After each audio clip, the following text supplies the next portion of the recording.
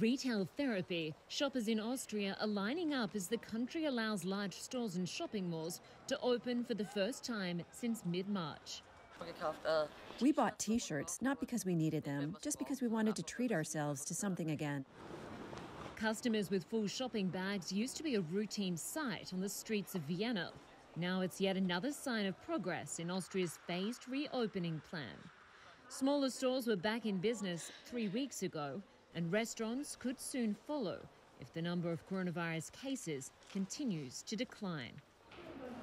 Getting a haircut is allowed once more as long as stylists and clients practice social distancing where possible and wear masks.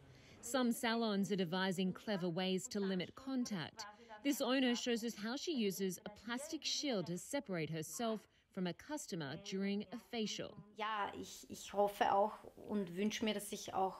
I hope and wish that my clients aren't afraid to have treatments again because I'm making sure that everything is very hygienic and that it's a pleasant experience for the customer.